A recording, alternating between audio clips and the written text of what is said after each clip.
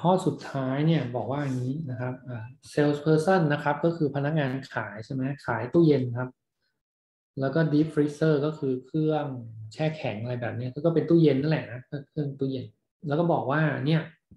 การันตีนะครับรับประกันว่า COP ต่ำสุดเนี่ยนะ จะได้ 4.5 ตลอดทั้งปีเลยนะครับ อันนี้ถ้าเราเรียนกันไปเมื่อกี้เราบอกว่าเฮ้ย COP ของระบบที่ระบายความร้อนด้วยอากาศเนี่ย มันอยู่ที่ประมาณสามนะครับ เราฟังว่าเฮ้ยมันบอกว่า COP จะเป็น 4.5 แถมยังบอกว่า year round ด้วยนะ ก็คือแบบทั้งปีอะ COP ได้ 4.5 เราก็ต้องสงสัยแล้วว่าเฮ้ยของจริงมันก็ได้อยู่แถวแถวสามทำไมเองมาบอกว่ามันได้ 4.5 ว่ามึงต้องโม้แน่เลยนะครับ เออเดี๋ยวนะทำไมผมงงๆ เหมือนกับว่าผมไม่ได้เล็งข้อนี้ไว้นะเนี่ยเหมือนผมจะเลือกข้ออื่นมา แต่ว่าผมดันไปตัดข้อนี้มาไว้อะข้อนี้ก็ข้อนี้เขาถามว่า เออเนี่ย สมรรถนะการทำงานของของไอเครื่องจักรหรือว่าไอเนี่ยไอตู้เย็นหรือหรือ หรือไอ้ฟรีเซอร์พวกนี้เอ้ยมันจะมันจะมันจะเปรียบเทียบยังไงดีนะครับ แล้วมันจะคงที่ตลอดทั้งปีหรือไม่นะครับ จะคงที่ตลอดทั้งปีไหมนะครับเออแปลว่าอย่างถ้าบ้านเรานะ สมมุติบ้านเรามันก็จะมีทั้งหน้าร้อนหน้าหนาวใช่ไหมหน้าร้อนอ่าสมมุติว่าเป็นตู้เย็นก็ได้นะครับ ถ้าเป็นตู้เย็นเนี่ยข้างในตู้เย็นเราอุณหภูมิจะถ้าถ้าเป็นตู้ส่วนที่ไม่ใช่ฟรีเซอร์นะอุณหภูมิมันก็ไม่ถึง ไม่ไม่ถึงศูนย์หรือจุดเยือกแข็งหรอกใช่ไหมมันก็อาจจะอยู่ที่แบบสักห้าองศาสมมตินะครับ แต่ถ้าเป็น deep freezer เนี่ยเออมันก็อาจจะติดลบนะจะติดลบสักเท่าไหร่เดี๋ยวเอาติดลบสักสิบองศาเซลเซียสก็แล้วกันนะครับ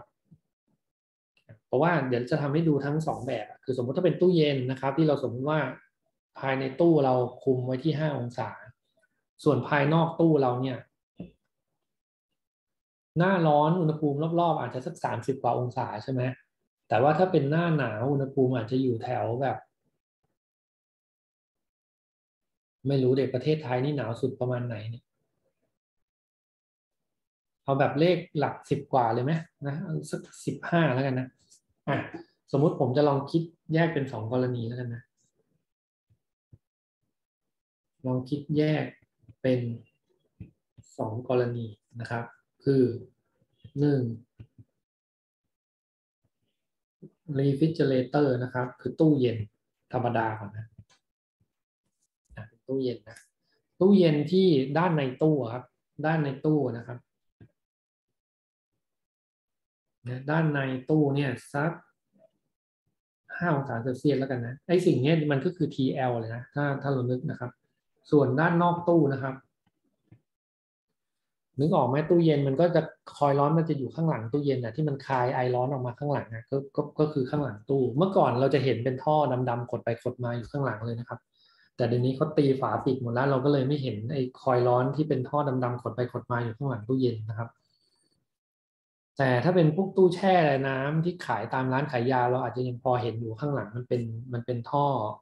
คอยร้อนอยู่ข้างนอกนะครับ ด้านนอกเอาเท่าไหร่ดี ด้านนอก เราอาจจะแยกเป็นหน้าร้อนนะครับหน้าร้อนเราอาจจะเอาสักสามสิบห้าองศานะครับ แล้วก็หน้าหนาวเอาแบบหนาวจะจัดเลยสมมติอยู่ทางเหนืออยู่บนดอยเลย อาจจะเอาสักสิบห้าแล้วกันนะเอาเลขแบบนี้ ราะว่าเดี๋ยวเราจะลองคิด COP ดูนะครับว่า กรณีตู้เย็นนะครับ หน้าร้อนหน้าหนาว COP จะเป็นเท่าไหร่นะครับ แล้วก็เดี๋ยวลองดูตู้แช่บ้างนะครับ ตู้แช่นะครับ สมมติเป็น deep freezer เออเอา deep deep เท่าไหร่ดีอะ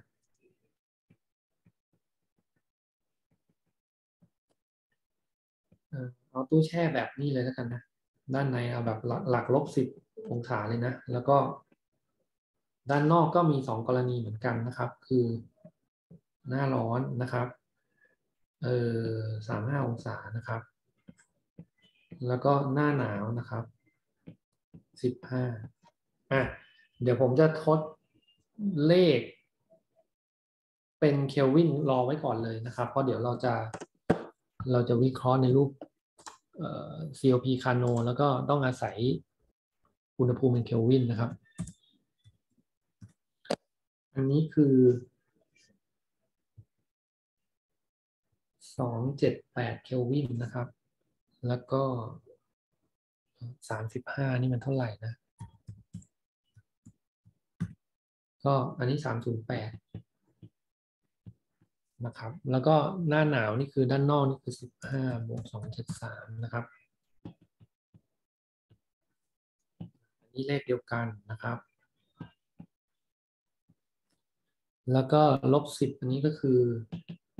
สองหกสามเคลวินใช่ไหมอ่าลองคิดแยกเป็นสองกรณีเสร็จปุ๊บผมก็จะดูว่า เออ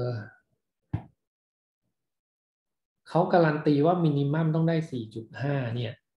ตลอดทั้งปีแปลว่าเนี่ยครับ ทุกกรณีที่เรากำลังจะดูต่อจากนี้ไปนะเนี่ย ตรงเนี้ยทั้งหมดเนี่ยมันจะต้องได้ COP สูงกว่า 4.5 ทั้งหมดเลยนะ เดี๋ยวเราจะ ยอมให้มันเป็น ยอมให้มันเป็นเอ่อ COP คาโนด้วยนะครับ ยอมให้เป็นตู้เย็นตู้แช่แบบเป็นคาโนด้วย ดูที่ว่า COP เอาดีที่สุดเลยนะครับ จะดีกว่า 4.5 ไหมนะครับ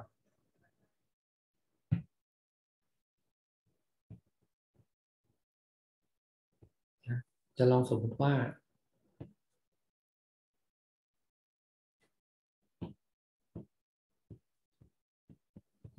ทั้งตู้เย็น ตู้แช่นะครับ เป็นคาโน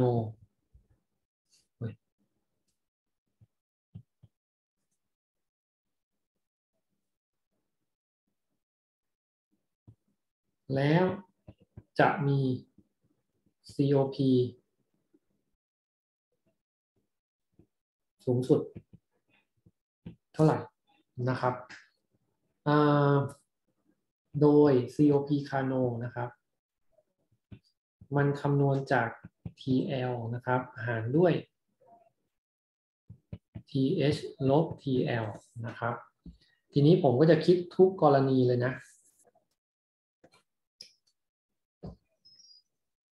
ทำไงให้มันเขียนได้เร็วขึ้นวะเนี่ย copy ไป แล้วก็ กดเครื่องคิดเลขไล่กันไปเรื่อยๆเลยได้ไหม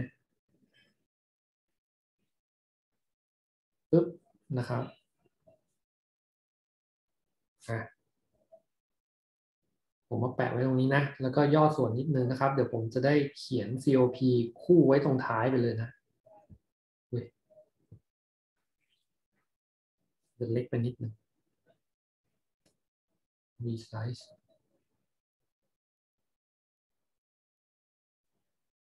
อะผมเอา COP เขียนไว้ข้างหลังนี้นะ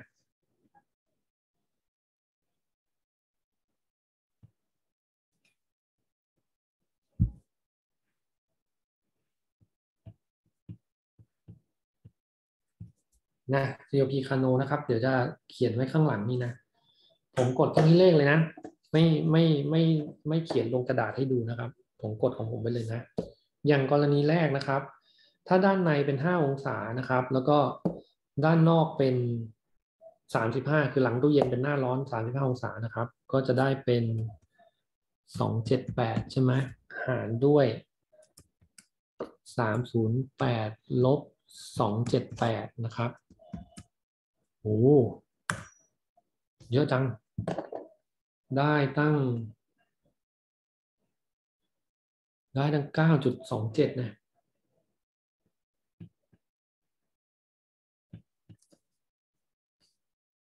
อืมเอ๊ะแล้วเราจะได้คำตอบไหมเนี่ย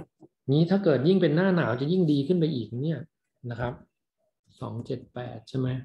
หารด้วยสองแปดแปดลบสองเจ็ดแปดอะเนี่ยที่ผมบอกอะ COP ในทางทฤษฎีนะเผลอๆมีถึงยี่สิบกว่านี่ครับ นะ ถ้าเป็นตู้แช่ล่ะ ถ้าเป็นตู้แช่นะครับ ถ้าเป็นตู้แช่ข้างในเป็นสองหกสามใช่ไหมก็จะเป็นสองหกสามนะครับ หารด้วยสามศูนย์แปดลบสองหกสาม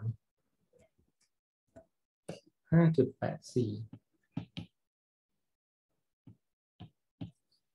แล้วก็ยิ่งถ้าเป็นหน้าหนาวจะยิ่งดีขึ้นไปอีกนะครับ ก็คือ สองหกสามหารด้วยสองแปดแปดลบสองหกสามนะครับ โอ้ได้สิบอะอธิบายกันอย่างนี้ครับเอ่อถ้าเป็นตู้เย็นใช่ไหมถ้าเป็นตู้เย็นเนี่ยมันทำงานที่แบบไม่ไม่ได้หนักเท่าตู้แช่ใช่ไหมคือมันไม่ต้องดึงอุณหภูมิลงไปจนถึงติดลบมากๆอะประสิทธิภาพมันก็จะดีกว่า นะครับ ดีกว่าที่ต้องแบบดึงลงไปลบมากๆอยู่แล้วนะครับโอเคไหมอันนี้ประการที่หนึ่งประการที่สองข้อสังเกตอันนั้นก็คือในในความรู้สึกเราอะเรารู้อยู่แล้วว่าถ้าเกิดแอร์มันทำงานในหน้าหน้าหนาวหมายถึงว่าอากาศข้างนอกมันเย็นกว่าเนี่ยก็แปลว่าคอยร้อนมันระบายความร้อนได้ดีไงใช่ไหมครับ เพราะนั้นประสิทธิภาพมันก็จะสูงกว่านะครับนั้นระหว่างหน้าร้อนกับหน้าหนาวเนี่ยเราก็จะเห็นว่าประสิทธิภาพในหน้าหนาวย่อมดีกว่าอยู่แล้วนะครับ เพราะว่าคอยร้อนมันระบายความร้อนได้ได้สะดวก นะครับ เอาละทีนี้ผู้ขายนะครับเขาโม้ว่า COP ได้ 4.5 ตลอดทั้งปีเลยเนี่ยอืมประเด็นก็คือว่าถ้าเกิดมันทำงานเป็น Carnot นะ มันก็โอเคแหละ แต่ของจริงมันไม่ใช่ไงนะครับ ของจริงมันไม่ใช่ ของจริงมันก็ต้องไปวัดกันนะครับว่าเออที่มันกินพลังงานเข้าไปที่คอมเพรสเซอร์เท่านี้มันทำความเย็น QL ที่คอยล์เย็นได้เท่าไหร่อย่างนี้นะครับ มันก็ต้องไปคิดกันตรงนู้นไปวัดกันจริง ๆ นะครับ แต่จากข้อมูลที่โจทย์ให้มาเนี่ยมันไม่มีอะไรเลยอะเราถึงจะต้องไปสมมุติอะไรไม่รู้เต็มไปหมดเลยเพื่อ ให้มันมีหลักในการวิเคราะห์หน่อยออกมาเป็นตัวเลขได้ ซึ่งหลักที่เราจับได้มันก็จะเป็นแบบอิงกับทฤษฎีใช่ไหมอิงกับคาโนที่ว่า รู้อุณหภูมิของแหล่งความร้อนสองแหล่งก็พอจะประเมิน COP ได้แล้วอะ ซึ่งออกมาแล้วมันก็ดีแบบดี ดีโคตรๆนะครับ คือดีแบบดีเป็นไปไม่ได้นะครับ ทีนี้มันจะเอามาวิเคราะห์โจทย์ข้อนี้ได้ยังไงนะครับเอ่อตอบตรงนี้ก่อน สม่ำเสมอทั่วทั้งปีไหมคำตอบคือไม่นะครับ หน้าร้อนมันก็ย่อมทำงานแย่กว่าหน้าหนาวอยู่แล้วนะครับ แล้วก็ performance ของมันเนี่ยจะเปรียบเทียบยังไง ก็เปรียบเทียบแบบที่เราทำอย่างนี้แหละ แต่อันนี้พอดีเราทำในกรณีที่เป็นคาโน เป็นทฤษฎีเป็นอุดมคตินะครับ ตัวเลขมันก็ยังก็ก็จะเวอร์กว่า 4.5แน่ๆนะครับแต่ของจริงไม่มีทางจะถึงเลย ซึ่งเราไม่มีข้อมูลเพียงพอที่จะวิเคราะห์นะครับ ถ้าเป็นผมตอบตรงนี้นะ ผมก็ตอบว่า ผมวิเคราะห์ได้ในกรณีที่สมมุติเป็น COP คาโนนั่นแหละแต่ของจริง ต้องไปดูต้องไปวัดจริง ๆ ว่ามันกินไฟเท่าไหร่ แล้วก็ไอคอยเย็นน่ะมันมันดึงความร้อนออกได้เท่าไหร่ทำความเย็นได้เท่าไหร่นะครับ ถึงจะวิเคราะห์ตรงนี้ได้เนาะโอเคไหมแต่ตอบวันนี้ตอบได้แน่ ไม่ไม่ steady แน่ๆนะครับ ไม่ไม่ steady ทั้งปีแน่ๆนะครับโอเคไหมเนาะก็คือนี่ต้องไปดูว่า COP ของจริงเป็นเท่าไหร่เท่าไปวัดเอา แต่ว่าถ้าวิเคราะห์ว่ามันเป็น Carnot เนี่ยโอเคแหละ มันก็สูงกว่า 4.5 นะครับ ซึ่งซึ่งมันเป็นไปไม่ได้นะ ต้องไปวัดของจริงนะครับโอเคนะ นี่คือโจทย์ที่ผมเตรียมมาวันนี้นะครับ แล้วก็เอ่อถ้าถ้าพุธหน้าไม่มีปัญหาอะไรเนี่ยที่เราจะเรียนกันชั่วโมงหนึ่งครับ ประมาณช่วงแบบสิบโมงสี่สิบห้าสิบเอ็ดโมงจนถึงเที่ยงเนี่ย ก็จะเริ่มเลยนะครับพุธหน้า ยังไงเดี๋ยวจะแจ้งไปในไลน์ก็แล้วกันนะครับ แล้ววันพฤหัสเราก็จะได้ไม่ต้องเลิกดึกแบบนี้นะครับอะเอาไว้เท่านี้นะครับ วันนี้นะครับ